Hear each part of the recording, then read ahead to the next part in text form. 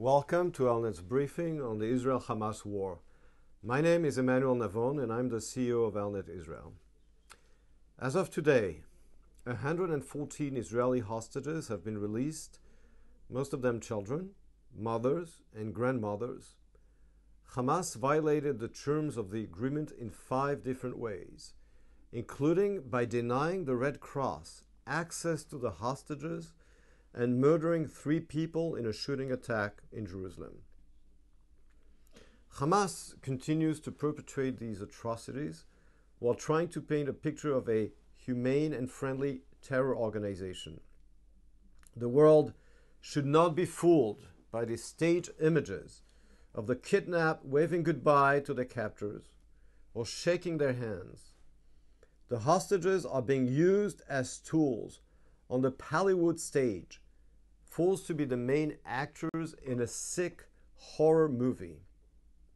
Hostages are testifying that Hamas branded the children by burning their legs as if they were livestock to be slaughtered.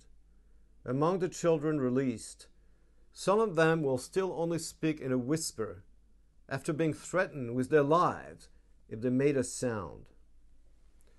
A 12 year old child was forced to watch the gruesome footage of Hamas going on the killing spree.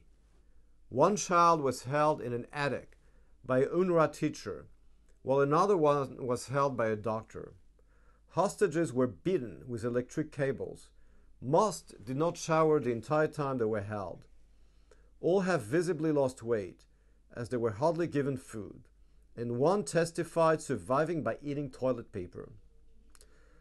There are still 137 Israeli hostages in Gaza. We view Hamas as responsible for returning them safely and call for their immediate and unconditional release. We will not rest until all the hostages are free and until Hamas is denied the ability to perpetrate another October 7, which is why the IDF renewed its military operation after Hamas violated the ceasefire. And yes, destroying Hamas is possible.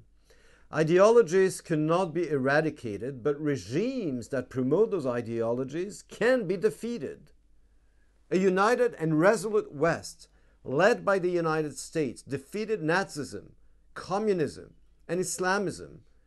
European governments who undermine Western resolve and unity only bring shame on themselves. Israel shall fight and win with or without them.